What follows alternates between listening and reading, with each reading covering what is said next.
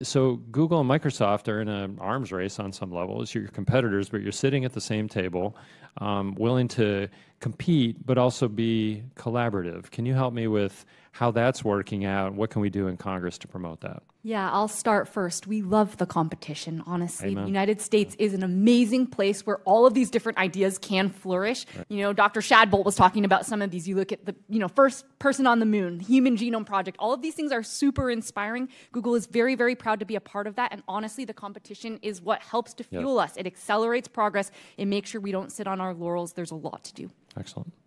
Yeah, I'll just add that you know I've been very fortunate in my career to work in a pretty nice field. Like everybody in quantum information science, pretty nice. Seems like that. I, You're all very I pleasant. think um, that's kind of unusual for other physics areas, mm. just so you know.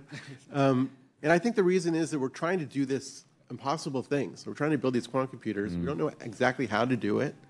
And we're all learning from each other. All the technologies learn from each other and steal ideas and give, give each other ideas. And we're trying to do this amazing thing. And, and then the next question is, well, how do you make money from it and how do you make it a market? Um, but it's, it's a great time to be in that era. And uh, that's all I have to say. Thank you for those answers.